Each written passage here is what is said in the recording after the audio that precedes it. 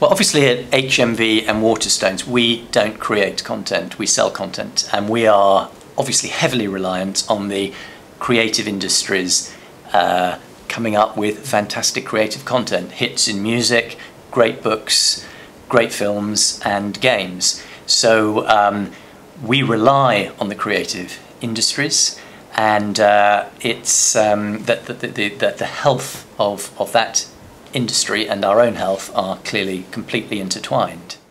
The creative industries shape Britain, they make Britain's brand.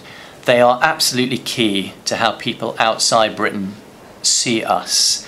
And I think there therefore needs to be a very special recognition of this vital role that the mu our music industry, which is recognised worldwide, uh, the, the, films and, and television that we make, the games that we'd like to produce in this country, and of course the fantastic publishing.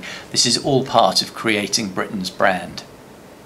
I think piracy is the issue of the moment. It is potentially the global warming, cultural global warming moment for the cultural industries. Ultimately, it's all about copyright, and if copyright can't be protected and is accessible for free, uh, then we have no business and uh, there will be no uh, ability for the creative industry to reinvest in creativity. So that is, at the moment, the big issue.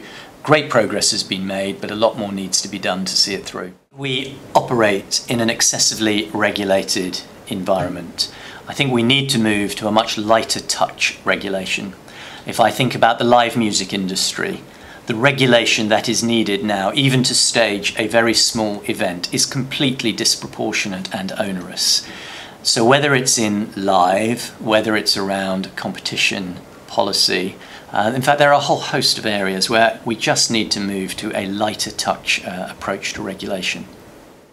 Well, beyond uh, pushing through and keeping the momentum going on Digital Britain, we obviously need an environment, an economic environment that is conducive and supportive of the creative industries. Tax breaks, potentially.